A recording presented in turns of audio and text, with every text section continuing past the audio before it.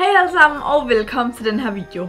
Så i dag er det den 1. december, og i den anledning skal jeg derfor lave min første julevideo på min kanal i år. Den her video kommer til at være en top 10 julesweaters, eller sweat, sweat, sweater, sweat, sweaters. Jeg kan ikke finde ud af at sige det, men min top 10 juletrøjer, selvfølgelig har jeg ikke alle de her 10 trøjer selv, men jeg har fundet en masse på nettet, som jeg synes er vildt fede, og jeg vil dele dem alle sammen med jer. De her trøjer kan både være noget, du kan ønske dig i julegave, det kan også være noget, du kan give til din mor, eller din far, eller din veninde, eller kusine, eller whatever i julegave. Så det kan enten være noget, du selv kan ønske dig, eller noget, du kan give væk i gave. Men det kan også bare være noget, som du kan købe til dig selv, hvis du har brug for en lækker trøje, sweater, ting herop til jul. Hvis jeg lige hurtigt skal give jer en lille smule information om, hvad der kommer til at ske herop til jul på min kanal, min plan er, at der kommer en video op den 1., den 7., den 14., den 21. og den 24. eller 25. Det er jeg lidt i tvivl om, men det finder jeg ud af. Jeg tænker netop, at det her er en vild fed måde at lave en adventskalender på, men at videoerne ikke kommer ud om søndagen, fordi jeg føler, at alle kommer til at lægge videoer op om søndagen. Og så kommer der bare sådan en bunke af videoer, så kan man ikke nå at få set dem alle sammen. Så derfor så tænkte jeg bare, at det kunne være fedt at få noget i hverdagen, så derfor har jeg besluttet at gøre det den 1., 7., 21. og 24. eller 25. Det finder jeg lige ud af. Men ja, hvis I vil have flere af sådan nogle her top 10 videoer, så må I meget gerne like videoen. Skriv gerne ned i kommentarboksen, hvis I har nogle forslag til, hvad for nogle det skulle være. Hvis du ikke allerede abonnerer på min kanal, kan du gøre det lige hernede under. Og ellers er der ikke så meget andet at sige, end at vi egentlig bare skal komme i gang med den her video. Så jeg vil starte ud med en vild cool trøje fra Gina Tricot. Jeg har et billede af den her på min computer, så undskyld, hvis jeg kommer til at sådan sidde og kigge ned. Men den koster 169 kroner, og det er sådan en rigtig grøn, lækker sweater-agtig, så, hvor der står hashtag Snowfie på, og så er der sådan en vild sød snemand på. Jeg synes, den er så sød, og til prisen ser den altså virkelig lækker ud, så den kan jeg i hvert fald helt klart foreslå, eller hvad man kan sige, jeg har den jo ikke selv, men jeg synes, den er lækker, og jeg vil gerne selv have den. Derudover så er der en, som går til samme pris, altså 159 kroner, som bare er rød, og så er der et juletræ på og en masse stjerner, og den er bare så fin, og jeg synes bare generelt, at de her to trøjer er super fede, og udover det har de også et større udvalg. Dem kan man dog ikke købe på deres hjemmeside, for der er de udsolgt, der kan man kun købe de i butikkerne. Forresten skal jeg lige huske at sige, at de her trøjer ikke er sådan i rækkefølge, det er bare sådan top 10, altså bare sådan 10 trøjer, jeg synes er vildt søde. Så det er altså ikke i rækkefølge. Den næste, jeg har fundet, er inde på Asos, og der har de faktisk også vildt mange fede juletrøjer.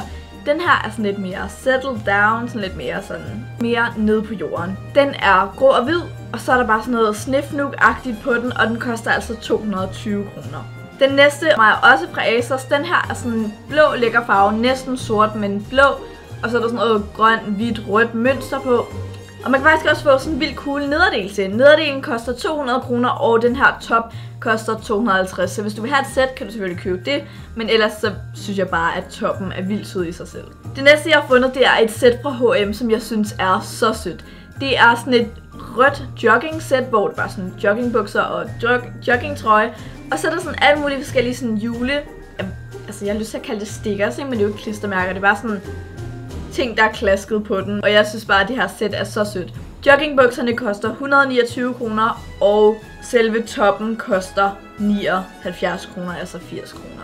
Den næste trøje, den er så cool. Jeg synes, den er så sød, men den er også lidt speciel. Den er fra Asos, den koster 220 kroner, og det er en trøje til dig og din kæreste, dig og din veninde, dig og din mor, dig og din far, dig og en eller anden. Det her, det er en trøje, hvor at du i hvert fald ikke kommer til at savne den person, du kommer til at dele den med, fordi det er en trøje, hvor at du sidder sammen med den her person.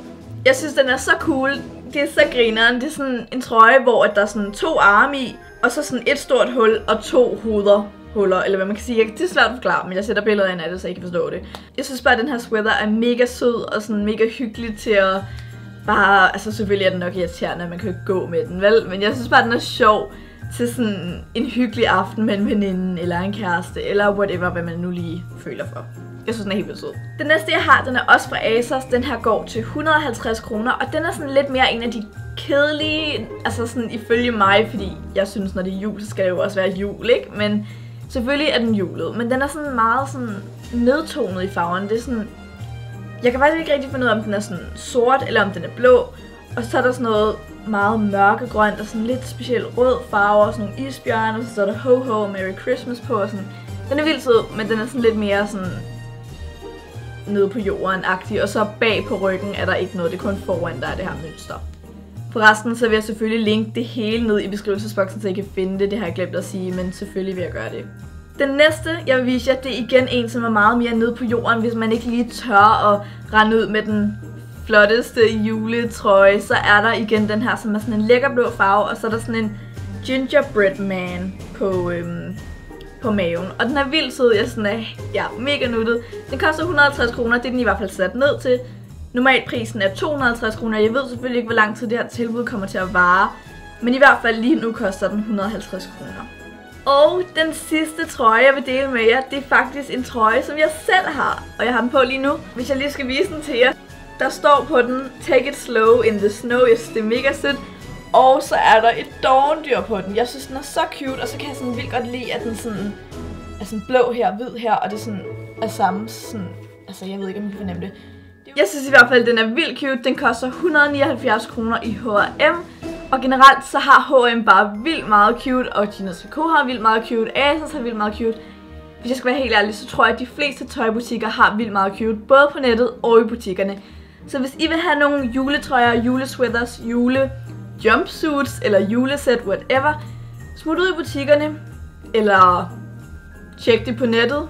Ønsk dig det julegave, giv det til dine venner eller familie, whatever, køb det til dig selv som en lille julehyggegave-agtig. Og ellers er der egentlig ikke så meget andet at sige, end jeg håber virkelig, I kunne bruge de her gavetips, idéer til noget.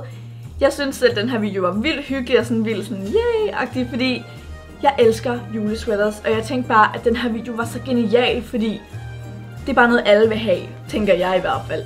Så ja, jeg håber I nød. Hvis I kunne lide den, så husk at give den et kæmpe like. Derudover så må du også meget gerne abonnere på min kanal, hvis du ikke allerede har gjort det i forvejen. Derudover så kan du også følge mig på min Instagram, der hedder Ronja Jørs. Du kan også følge mig på min Snapchat, der hedder Ronja Jørs YT. Der opdaterer jeg blandt andet omkring det her med julekalender og nye ting i mit liv og alt muligt forskelligt. Så hvis du vil sådan være med i sådan for eksempel jule Q&A eller et eller andet, hvis du vil have mere indflydelse på mine videoer, så synes jeg helt klart, at I skal gå ind og følge mig på både Snapchat og Instagram. For Instagram, der spørger jeg også nogle gange om nogle forskellige ting. Så ja, og til sidst er der ikke så meget andet at sige, end at vi forhåbentlig ses meget snart igen. Hej hej! Hej alle sammen og velkommen til den her video. Så i dag skal jeg lave en lyric prank for tredje gang, fordi de her videoer bliver så populære, og det virker som om I alle sammen så godt kan lide dem, og jeg bliver bare hele tiden spurgt igen og igen, vil du ikke nok lave flere lyric pranks? Så hvis det er det, vi vil se, så selvfølgelig vil jeg lave flere lyric pranks. I dag skal jeg prank en af mine venner.